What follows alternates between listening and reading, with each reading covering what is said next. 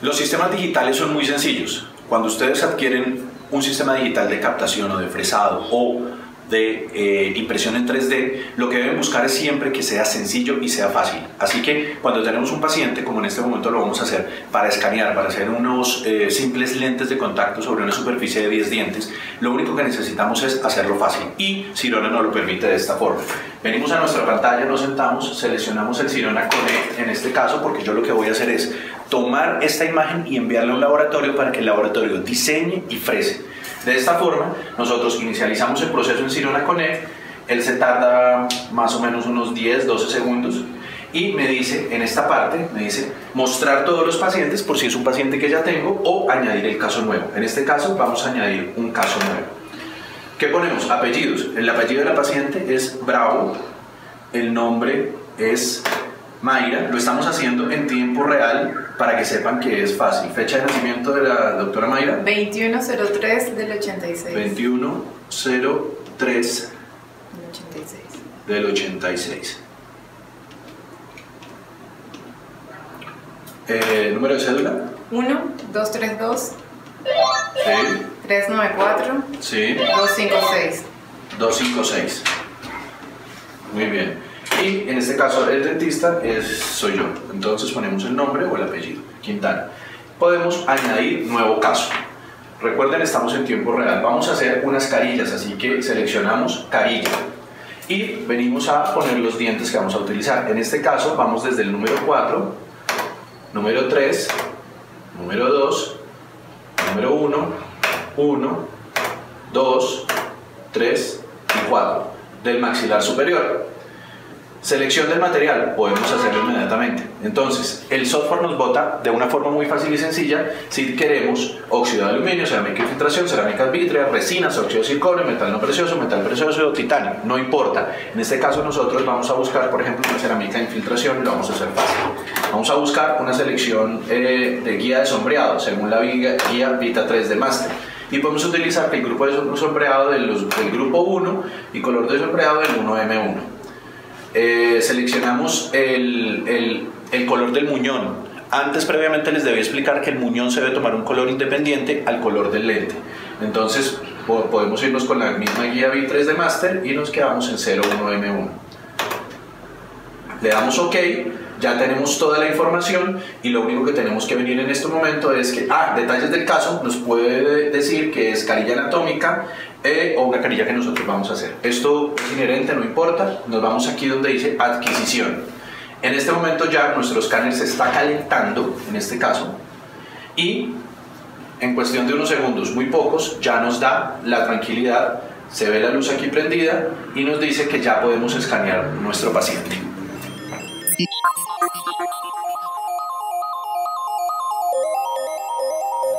Ya estamos listos con, con nuestro paciente para hacer eh, la captación. Entonces en este momento lo más importante es que veamos que la, la, pieza de mano de Cirón es una pieza ergonómica, es una pieza que nos sirve muchísimo para poder entrar en la boca y para poder maniobrar. Nosotros aquí simplemente lo que le damos es eh, superior, autorizamos inmediatamente que comience a titilar esto que ven acá, Muchas veces, en una clínica como la mía, por ejemplo, que tiene alto volumen, nosotros tenemos que estar limpiando continuamente nuestro, nuestro lente. Eh, por favor, líquido para limpiar. Entonces, lo estamos haciendo en vivo y en directo, como es, como lo hago con cualquier paciente. Limpiamos muy bien nuestro lente, que no quede polvo, porque puede quedar algo de polvo, para que esté completamente limpio, no tengamos ninguna interferencia ya. Ábreme y secamos la superficie del maxilar superior, que es simplemente que vamos a hacer. No desecamos, porque el paciente no empieza a sufrir tampoco, y entramos a hacer el escaneo en tiempo real.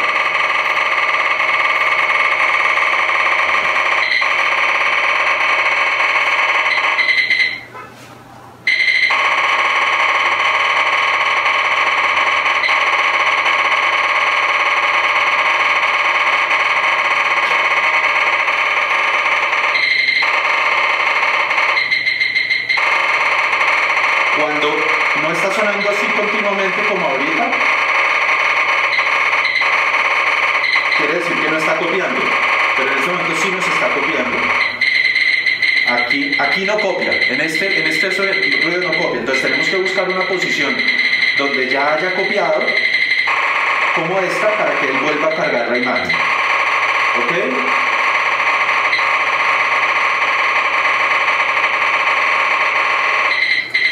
Caso es un modelo de estudio, entonces lo que hacemos es lo siguiente, paramos, posicionamos con mucho cuidado nuestra pieza de mano, si esto se rompe es bastante costoso, y venimos a mirar aquí con el clic izquierdo, podemos ver ya una parte de impresión del primer modelo. Cómo es que está haciendo, podemos ver los errores, dónde está roto. Si no vemos muy bien, entonces podemos agrandar la imagen y mirar que está roto en las partes palatinas, en la parte incisal, y entonces sabemos dónde es que tenemos que tomarlo. En este caso, como yo tengo que seleccionar de canino a canino, para mí es muy importante la parte oclusal y la parte vestibular de los dientes. Ahora les explico mejor por qué. No tiene que ser un modelo completamente perfecto, eso depende de su laboratorio. En este caso vamos a hacer 6. Entonces ya sabemos qué es lo que tengo que hacer. Vuelvo, vengo acá, seco, vuelvo y me posiciono en un lado donde eh, haya copiado por primera vez, como este, y mejor la ruptura que tuve.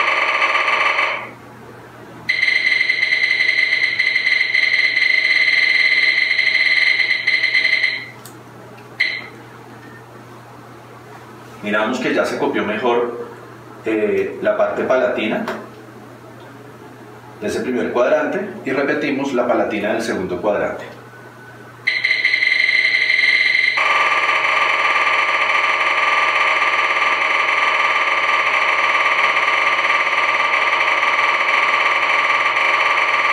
Los incisales y ya tengo mi modelo de oclusión. Pasamos a nuestro, mi modelo superior, perdón. Pasamos al maxilar inferior. Ábreme.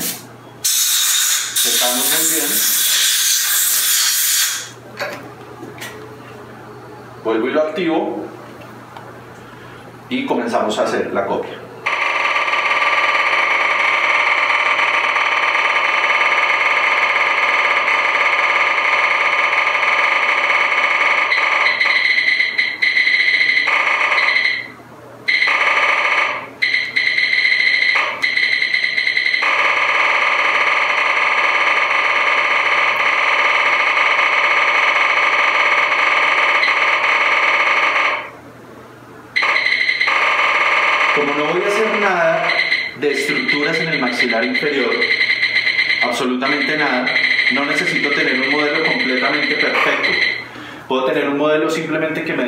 Dé el grado de oclusión que yo necesito. Entonces vuelvo y reviso que tengo oclusión en todos mis seis dientes, estoy bien, miro acá, está acuérdense que es simplemente un modelo de oclusión, pero pues vamos a ser un poco más prolijos y vamos a mejorar un poco, ábrame, la parte lingual para que podamos tener un modelo mejor en el momento en que la máquina me va a hacer el alineamiento.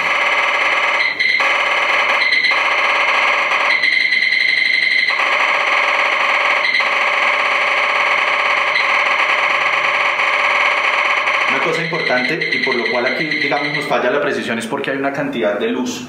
Esa luz es mejor siempre hacer un escaneado en eh, sistema oscuro. Ahora, la parte vocal, el registro de mordida.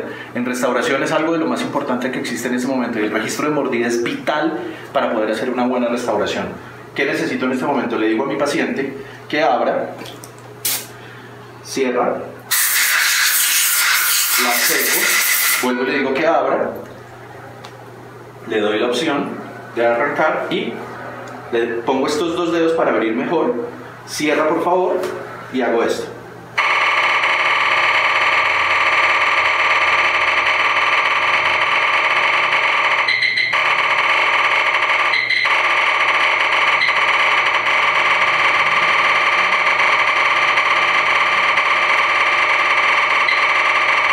¿Listo?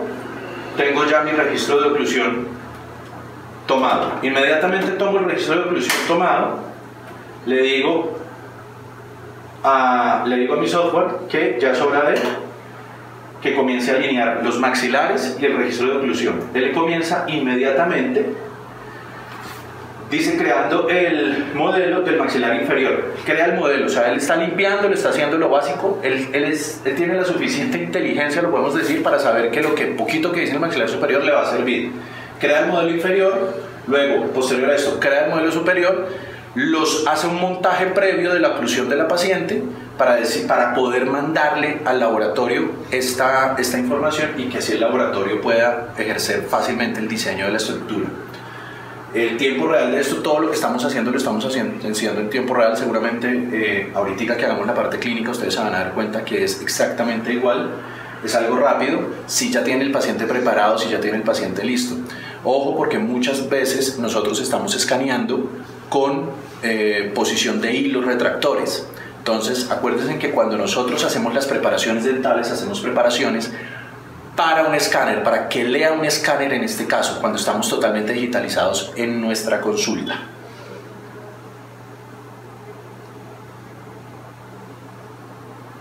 Ya me está creando el modelo superior, o sea, ya el modelo inferior ya lo, lo está montando, formaleteándolo, como diríamos nosotros en rehabilitación, lo está poniendo en formaletas, está haciendo lo mismo con el modelo superior.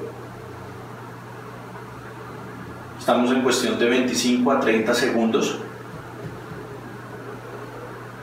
Mentiras, a veces puede tardar un poco más, pero, pero en este caso ya está cargándose. Hicimos una parte superior. El paciente puede estar viendo, como lo está haciendo ella en este caso, puede ver perfectamente lo que está sucediendo con su boca. En este momento no hemos hecho ningún proceso eh, de toma de impresión con siliconas, absolutamente nada. El proceso es completamente digital. Se acaba de fusionar modelo superior con modelo inferior el software en este momento está buscando los puntos de contacto que tiene el paciente en su boca para lograrlos en la boca virtual que estamos creando en este momento. Eh, cuando todo está girando es como cuando está pensando el computador, es descargando eh, la imagen. Y ahorita se ve muy bien cuando ustedes van a ver que los dos modelos de superior e inferior se compactan en un solo, por ejemplo acá.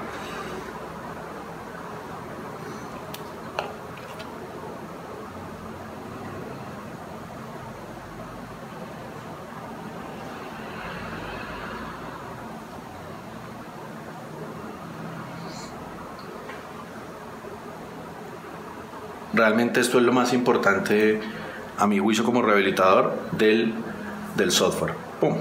Me lo montó. Me hizo ya un montaje y me dice, registro de mordida, ya lo tenemos. Ahora lo único que tenemos que hacer es decirle que sí. Tengo dos opciones. Como yo le hice el Sirona Connect, yo no voy a dibujar la imagen, pero yo podría dibujar mi imagen. Entonces simplemente le digo conectar.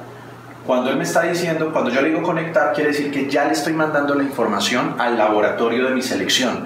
En este caso, el laboratorio de mi selección es Carlos Granados. Entonces me dice que eh, si quiero iniciar la sesión de envío. Le digo que sí. Todos ustedes, como en cualquier eh, cuenta o en cualquier software, tienen una, una contraseña ya tenemos la selección, perdón, tipo de restauración vinil, anatómico, cerámica de filtración, Vita 3D Master, todo lo que le di. Eh, no quiero cambiar nada, entonces le doy introducir datos del pedido. En este momento, cuando pido la introducción de datos del pedido, es cuando le digo que la paciente es una mujer, el laboratorio que quiero mandar es eh, el laboratorio de Carlos Granados. Aquí le puedo mandar eh, cualquier tipo de información al, al, laboratorio, saludos, lo que quiera. Yo simplemente tengo que escribir que el color de selección, por si acaso, porque ustedes saben que a veces los laboratorios no son muy claros con eso, es el 1M1. Eh, nada más le digo que necesito, hoy es miércoles 26 de abril, le digo que lo necesito para mañana, jueves 27 de abril, lo necesito a las 12 del día. Y como cuando compramos en Amazon o hacemos algo, le decimos añadir al carrito y en el momento que le digo añadir al carrito, él me manda mi pedido, él ya se está conectando con mi laboratorio, dice que dentro de 2 minutos y 41 segundos queda completamente cargado y ya le va a llegar directo a Carlos. Así que este es un proceso fácil de toma de impresión en una forma digital, en un consultorio, en tiempo real. Gracias.